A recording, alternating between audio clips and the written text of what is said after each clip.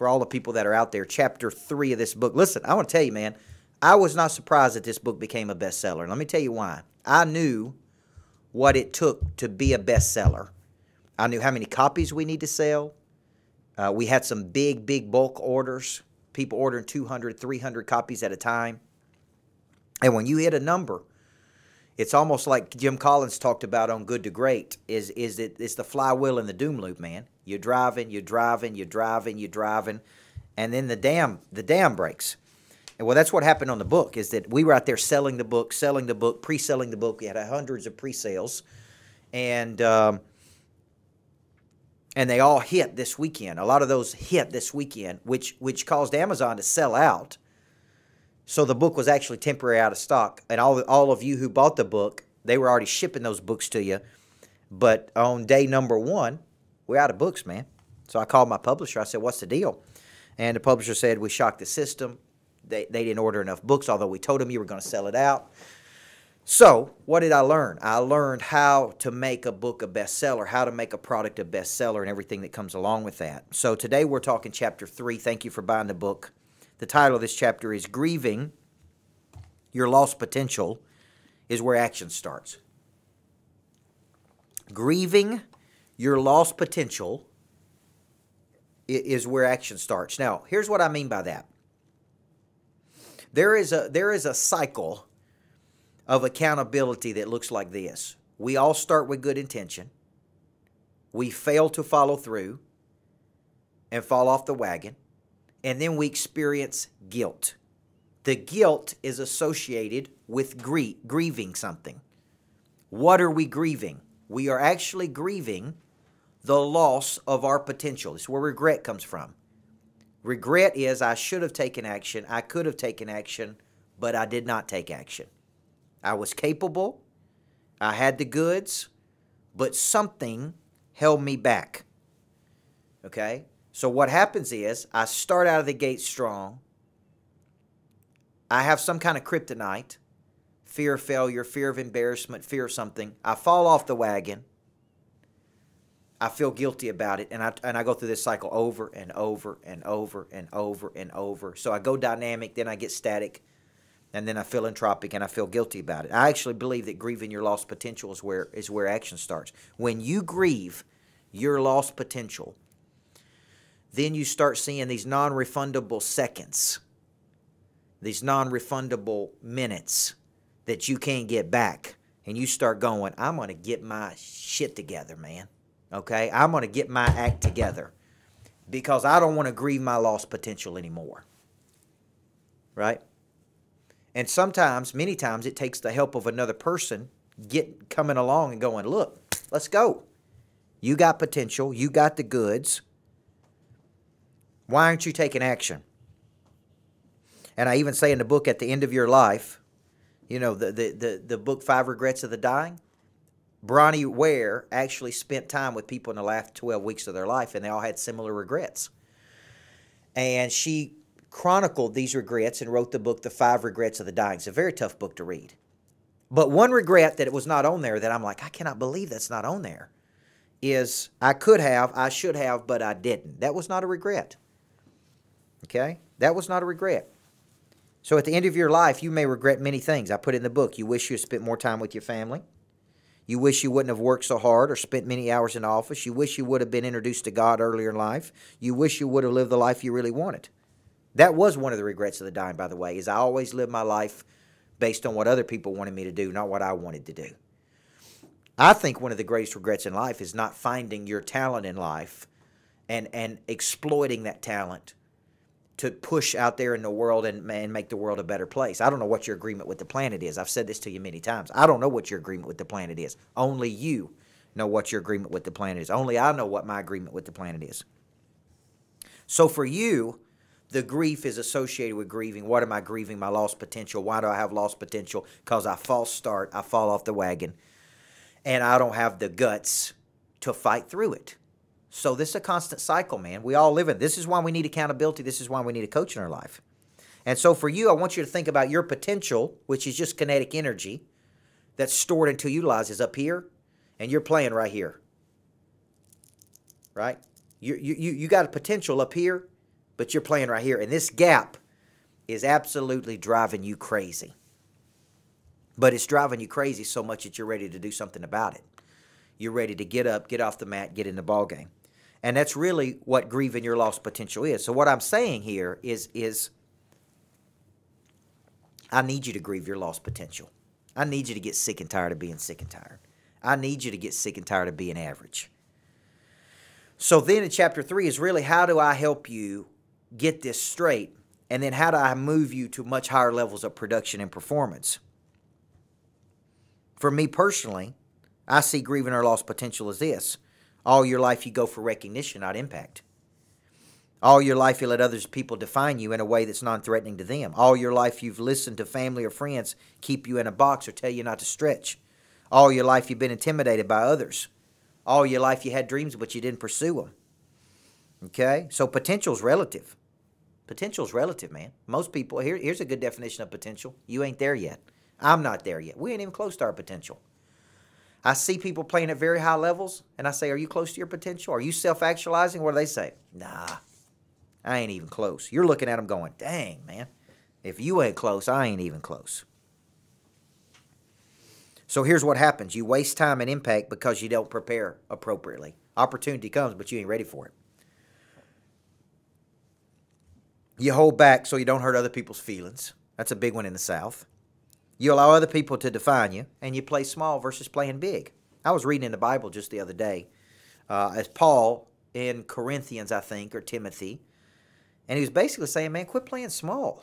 You're not hardwired to play small. You're hardwired to play big, but you're playing small. You're hardwired to play offense, but you're playing defense. You're hardwired to take dominion, but you're letting people take dominion over you. And so I got to get you to this point that, that, that how do I shift from this defensive mobility in my life, or defensive posture, to offensive mobility? How do I live aggressively? How do I live more aggressive toward my goals? And uh, you guys know I was at the 10X Growth Con this weekend, and all of those speakers had one thing in common. All of them. They all live aggressively. None of them were on that stage that held back softly push. They all exert enormous amounts of energy and push. So in this book, I talk about how to become a, legendary creature.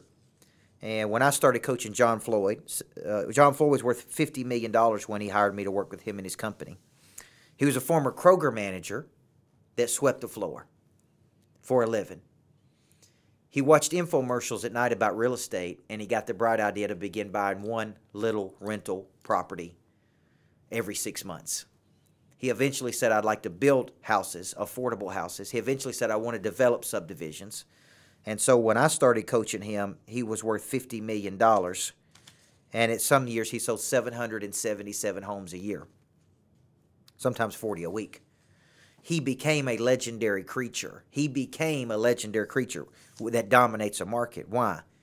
Saw an idea, saw a trend, capitalized on it, took action, started small, took steps, long obedience toward in the same direction. Wakes up X number of years later worth 50 million bucks. So I talk about to become a legendary creature, there's five things you got to do. All this is in chapter three of the book if you got it. Number one, and I hear this a lot and I tell people this you got to pick a space and you got to own a lane. You got to pick a lane and you got to own a space. Okay? This has been very hard for me because I get distracted. I'm out there all over the place. I'm interested in so many things. But after 10 or 12 years of doing this, I pick a space. I want 250 people in Monster Producer. I want 250 people in my Total Growth Academy.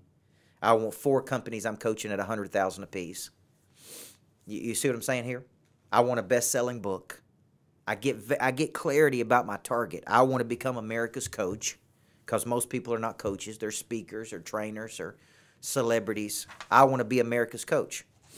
And I think I'm qualified to be that. So what have I done? I picked a space and I've got a clear position. And my position is everybody needs a good coach in life. Okay? Then I'm going to I'm going to become world class through real experience of doing it. I'm going to do it over and over and over and over and over and over. I'm going to practice and recalibrate. See, the reason you need to have 10 conversations a day is not because you're going to sell 10 people, it's because you need to get better at selling. The reason you need to go out and speak. Like I had a guy call me recently and say, Man, I want to do what you do. I want to speak. I'm like, Look, go work for a seminar company, which is where I started. I did 60 seminars in two years. 9 a.m. to 4 p.m. Sometimes there were five people there, rip screen. They paid me 250 bucks a day. Here's what I said go do that for two years, then you'll be ready to speak. Because what you're going to learn, how to entertain people for six hours, how to develop enormous amount of content. You got to become world class through doing it. You don't become world class by thinking about it. You don't become world class by dreaming about it. You don't become world class. You become world class by, by, by experiencing it by making 100 phone calls a week, by, by speaking all the time, by getting yourself in the game. So, all the people watching, the real estate agents, everybody, second thing you got to do once you got to clear positions, man, you got to become world class. Now, third one is hard for people. You got to package and sell the process you have created. Packaging is very hard for most people packaging is very hard for most people, and that is taking thought and and packaging your intellectual property into something that you can sell. Okay? So when I package this book, I'm packaging what's in my brain into something you can consume. Now I've packaged it into a webinar. And I package it into Online Academy. And I package, package it into Audible. And I package it into this. I got to I got to create a lot of products. But but here's where a lot of people get up. I know what space I want to own. I know what I want to say. I don't have enough practice doing it. I don't know how to package and sell it. So what, what's happening is I don't have enough distribution. I don't have enough products to push out to the market. So look at what I've done. I've developed a $24 product a $99 product in my online academy, a $199 product, a 399 product, a speaking engagement that's 10000 bucks. I'm creating enough products to hit everybody. I got a product for everybody. So you come to me and say, I ain't got any money. Well, you got enough money to buy the book. It's $24. And if you ain't got that much money, you can watch me on YouTube for free. And if you like it enough, you'll pony up the money. Because my goal is to be so good for my clients that they feel compelled to want to exchange money for the value I create. Anybody see that? So I'm picking a space. Mine's everybody needs a coach. I want to be America's coach. Number two, I'm becoming world class because I'm doing it over and over and over and over. Number three, I'm packaging and selling the recipe. You can bake the cake or you can sell the recipe. Now listen, you can't sell the recipe if the cake ain't any good. Somebody said, You just want your cake and eat it too. Well, what's the purpose of having the cake if I can't eat it? I do want my cake and eat it too, don't you? But here's your problem you ain't got a good enough cake to sell yet. If you ain't got a good enough cake to sell, you can't sell the recipe. See, now that I've driven a million dollars of revenue, and this year I'll do $2.4 million of revenue, then we'll do 5 million of revenue and 10 million of revenue. Now I can come to you and say, Look, Amanda, I'm going to take you from zero to $10 million. And here's how I did it. See, I couldn't, I couldn't do that until I actually did it, right? Number four, big one. So remember, I'm grieving my lost potential. It's time to get my butt up and in gear. I got something special to sell, and I'm going to sell it to the whole world. I'm selling to planet Earth, not Nashville. I'm selling to the world, man. This is my bigger think. I'm, so, I'm, I'm chasing blue marlins versus blue gill. I'm attracting them, actually. Number four, I got to get this message out on the road. I got to get this. Look, look at all the greats, man. Jesus had to take his message out on the road. Paul had to go from city to city and get his message out there. All the great people. Why do all the entertainers have to go out on the road and, and perform? Why do the why is Donald Trump flying around the country doing rallies? You know why? Got to get got to overcome obscurity. He's got to get out there and get much, much, much. He's got to get support. So why do you think I'm speaking at luncheon, speaking at breakfast, speaking in Minnesota? Why do you think I'm doing all that stuff? Because I got to get my message out to the planet. And you won't have the guts to do it if you don't believe in the message. So you got to overcome obscurity with what? Multiple strategies. So I suggest 10 strategies, a minimum, of pulling levers. You know, I was in Minnesota yesterday working with a company that's launching a new product. And uh, I just told him, man, you, you ain't got enough strategies. I'm going to just tell you. You need to sell it, sell it, and resell it. You need to hit it, hit it, hit it again. Hit the list, man. Hit your list. Number five, completely saturate your local market and box out the competition. Dominate the backyard before you dominate the whole yard. So, how do you dominate your local market? Frequency, high touch, high intensity, consistency over and over, right? So, let me stop right there and see if anybody's got any questions. What are we talking? Are you grieving your lost potential yet? If you're not, you ain't serious. Your potential, I always said, uh, God's gift to use your potential, your potential, your gift back is activating it. Until you're grieving your lost potential, you ain't serious. I want you to be serious about your potential. I want you to grieve your lost potential. Okay? So anybody have any questions that you'd like to type into the chat at this point?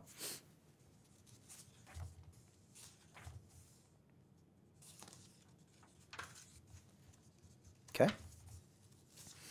All right. Now, fast forward just a little bit in the book.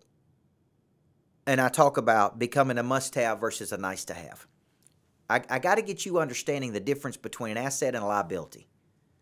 Assets add, liabilities subtract. Assets add what? Time, energy, money, chemistry, trust, knowledge, likability. I call it immediate asset. How fast can you show another person that you can bring something to them that they don't have? See, what if I sum you up as a liability? You know what that means? I've made up my mind about you. You're going to cost me something time, energy, money, attitude. So in the book, I talk about how do you become a specialist. Think specialist, not generalist. Think heart surgeon versus general practitioner. Heart surgeon, general practitioner. Number two, solve major problems through your talents knowledge, creativity that nobody else can solve. Your talent, their need. Number three, create unique, differentiated, and original points of view. Covey used to say when two opinions are the same, one of those opinions is unnecessary.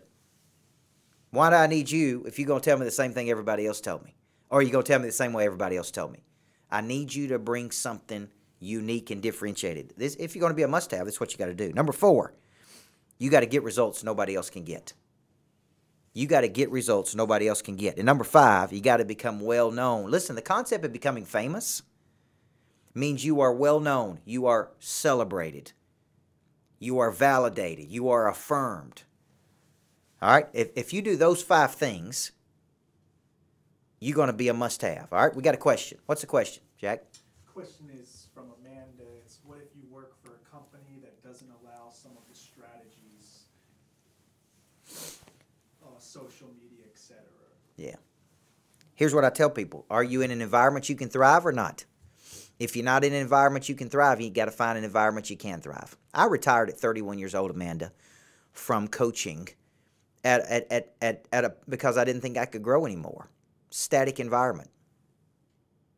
I didn't want to be in a toxic environment. I said, look, I'm not going to let you control my future. I don't like working here. I don't like the energy. Okay? I don't like some of the people. I don't like the lid. I've already done everything I can do. What else is there to do here, man? I'm out of here. You got to put yourself in a position to prosper, Amanda. That's what I tell you. Never put your future or destiny in another person's hands. Never. Okay? All right, how do you know how do you know when you're becoming must have? Number 1, people want an exclusive partnership with you. you know you're good when people say, I heard Tim Grover speak this weekend, who was a personal coach of Michael Jordan, Kobe Bryant. Here's what he said. Michael Jordan told Michael Jordan would not let him work with any other NBA athlete for six years. Jordan said, I'm not paying you to train me. I'm paying you not to train anybody else in the NBA. Isn't that good? God. Why is Tony Robbins coaching Paul Tudor Jones? Been coaching him for 20 years. Pays him a million dollars a year to be his coach. What if he says, "Look, I'll pay you five million, but you can't coach any other financial advisor except me"? This is where I'm going in the future. By the way, I'm going to go to the mortgage companies I work with, and I'm going to say, "Look, I'll give you an exclusive I'll be your secret weapon. I won't work with anybody else except you. Here's how much it costs. And if you're willing, let's do an exclusive. Number two, you ask for and get the fees you want without negotiating. We live in a, a, uh, a negotiation economy. How do you know your must have? You ask for it and you get it. It's that simple. They say we can't live without you, man. When you create unique value, they can't live without you. Number three, you're in high demand from a very specific client list. You're not in low demand, you're in high demand. Number four, you're picking and choosing who you work with. Number five, when budgets are cut, lots of things are cut, but you ain't cut. Now, how do you know when you're a nice to have? Number one, you're constantly having to fight for relevance. You're constantly having to negotiate your fees. When you help clients get superior results, they don't they don't give you credit. They say we could have done this without you. Number four, you take on every client who calls. It's got a pulse because you you need the money. Number five, the, the word budget comes up in discussions. Well, we just don't have the budget. We don't have the budget for you, right? When you become so valuable, they will make room in the budget for you. Trust me. They'll say, look, we can eat bologna sandwiches. We can cut out this. We're not going on company. We got to have you. And somewhere in the book, I tell this story of Ram Charan. Ram Charan was on an airplane coming in. He's a very famous consultant. And I flew into Nashville with him from Chicago. And he got off the plane, and there were armed guards there to protect him. And I'm sitting there thinking, why does he have. Most people didn't know who he was. I knew who he was because I'm kind of nerdy that way. But they didn't know who he was. Then it hit me. The dude is so valuable they don't want anything to happen to him. Right? The dude is so valuable, they don't want anything to happen to him, man. So they gave him security guards. That don't mean somebody's gonna come up and shoot him. That just means, look, don't let him stump his toe. What he's got something up here that's incredibly valuable. Don't don't let anybody mess with it. We need that. So, one more thing I'm going to share with you when we talk about distribution of your message, you, to, to, to articulate to the market that you are an expert, you have to distribute and push out to the market in a number of different ways. And I put these in the book. Number one, I do showcase events, which are marketing events where I speak at little or no fee to get in front of people. And I want to ask you this question What's your best means for generating customers? What is your best means for generating customers? If it's getting in front of people, then guess what you need to do? Get in front of people. So I do showcase events. Obviously, you know I do a ton of social media. What am I trying to do? Attract you. Attract you. I need to be doing more videos. I need to be pushing harder. I need to be creating more content. So I'm doing Facebook Live every night. I did two Facebook streams today. I'm doing almost a stream a day, every day, because I, I want to feed more people in the funnel. I want to attract more people. Number three, I write a weekly ad in our local newspaper in a key spot in the business section. I went to them and said, I'll give you the content. You give me the spot. Here's the deal. You can't let any other business person do it except me. So look at the strategies I'm using. I'm speaking out there a lot. I'm, I'm in the local newspapers, right? I'm trying to saturate my market. I'm doing the graffiti ads in the men's and women's bathrooms. I'm using a database and text message system. I'm doing podcasts and interviews. I'm doing weekly blogging. I mean, look at all this stuff we're doing, man. What are we trying to do? Attract. Attract. Attract. So that feeds into this concept of completely saturating your local market. And when you completely saturate your local market, you are at the top of mind because of your consistent frequency that you have. So let's backtrack what I talk about in this chapter for you. Number one, wanting to be great starts by not wanting to suck. what, what have you heard people say? I hate losing more than I love winning. I hate losing more than I love winning. I ain't grieving my lost potential, man. I ain't doing it. Life is too short to grieve potential. Now that now now that I, I'm grieving my potential and I'm serious about my life, I'm tired of messing around. Now I want to become a legendary creature. How do I become a legendary creature that uses multiple skills to dominate a market? Well, I do those five things I told you. Okay? Now I'm packaging and selling. Now I'm pushing. Now I'm getting the word out. Just remember this your marketing philosophy should be simple. I see your name everywhere. Everywhere I go, I can't get away from you. So you must be doing something right. That's what this chapter is about. It's about those five things and how to push out to the market to become a legendary creature because you don't want to grieve your lost potential. Now, let's do some Q&A here. At the very end of every chapter in the book, I do a little Q&A. These are common questions that people ask me. Number 1, I feel myself becoming complacent, static, and don't have the drive to become a legendary creature. What do I do? I should have just put it in there, Jack. You're screwed. You're screwed, man. But I didn't put that in there. Here's what I put in the book. In my experiences, only a very small percentage of the population want to become a legendary creature. The 1% is the 1% for a reason. I ain't talking about 1% of earners. I'm talking about 1% of performers. Do you know how cool it would be to be the personal coach of Michael Jordan and Kobe Bryant and Dwyane Wade? Is that the 1%? So here's one thing they told me. They had their stat sheet that the team judged them by, and when they came to him, they had a different stat sheet of personal things they wanted to accomplish within the context of the team. I thought that was the coolest thing in the world, man. So they're measuring based on points, rebounds, field goal percentage. Jordan said, That ain't how I measure myself. I measure myself on this stat sheet that you don't even know about. Only me and my coach know that. So why so one percent? I want to be in the one percent. I want to create so much value that people said, Look, I'll exchange my money for your value. Legendary creatures grieve their lost potential, by the way. They want impact versus recognition. Either some people think either you have this gene or you don't. I wrote that in the book. I don't know if I believe it or not. I think it's a little bit of nature, a little bit of nurture. I don't think I popped out of the womb, you know, saying I want to be great. Um, I don't know. But somewhere along the way, I was turned on to greatness. Right? I, I was, I was, my my little meter was activated. Okay, and it has a lot to do with your environment, by the way a lot of my early coaches that pulled this out of me. Okay? So at some point, you got to say you want a good life or you want to go the next level. You want comfort or you want impact. I'm more interested now in my legacy than I am in recognition. Number two, I'm having a hard time picking a position because I'm good and interested in many things. How do I narrow it down? I suffer from this too. It's called monkey mind. It's where your mind jumps around, jumps around, jumps around. I think there's I think the way you get clarity is you do a lot of things and then you say, this is it. Right? Like I do a lot of things throughout the week. I do strategy and I do coaching and I do promotions and I speak and I do podcast. But if you say, Coach, pick one, what is it? What's the lane you want to own? Is it coaching? Is it speaking? Is it training? Is it podcast? What's the one thing you wanted to do? And and you forced me to do the one thing that I wanted to do. It would probably be coaching with people that want to be coached. You know, I spoke at a luncheon today. Half the people didn't want to be coached. So I had to work real hard, real hard, because it was such a static group of people. And I'm sitting there going, man, I ain't looking for these bozos.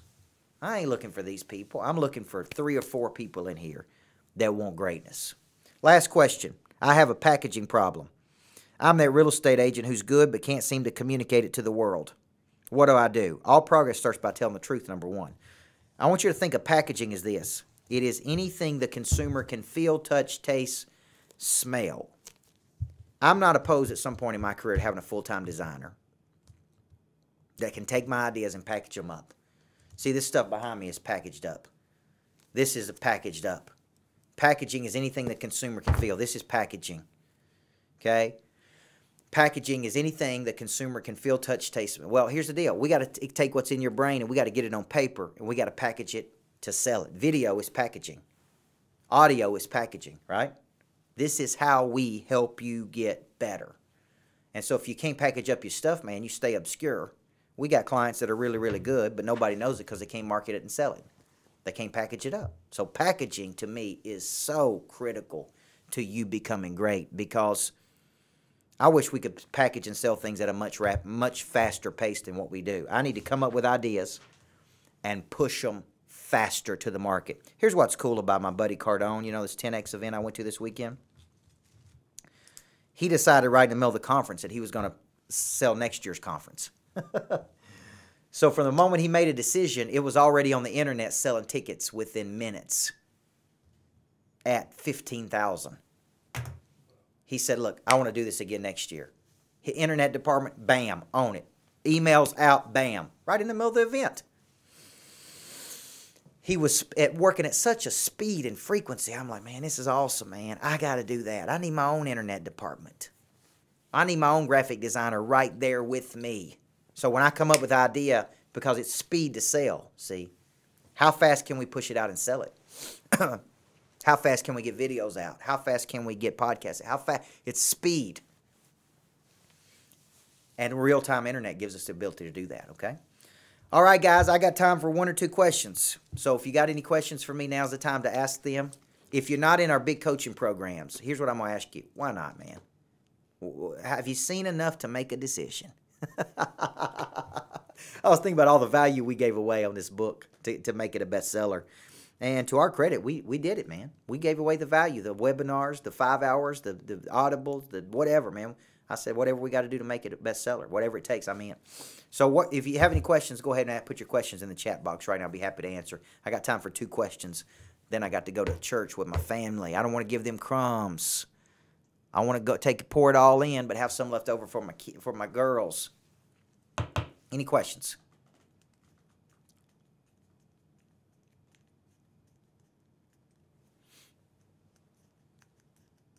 All right, no questions, guys. Listen, thank you for coming back. You know I'm doing doing one of these on every chapter of the book. Thank you for making it a bestseller on Amazon, and um, I think we sold another 175 or 200 copies today. And uh, listen, it ain't easy selling the book, man. What what you got to do is write a book to solve a problem. What what problem does this book solve? It it solves this concept of introspection. You need another person looking at your life. You need another person challenging you like I'm challenging. You need another person pushing you. Okay, as Les Brown said, you got greatness in you. We just got to pull it out, baby. And if you get knocked down, if you can look up, you can get up. Ain't that right? So I want to thank you guys. Everybody needs a coach in life. God bless you. Thank you for making this a best selling book. If you're not in our big coaching programs, why not? If you're not at least in our Total Growth Academy, can you tell me why not? Because you need to be, man. You need to be at least getting coached every single day Imagine getting it every day. If you're interested in that, raise your hand. Send us an email. If you want to come see me live at the Greatness Factory, come see me. But I, I, I, can get you to the next level if you just raise your hand and say, I want to go there. God bless you guys. Everybody needs a coach in life. That, my friend, was chapter 3.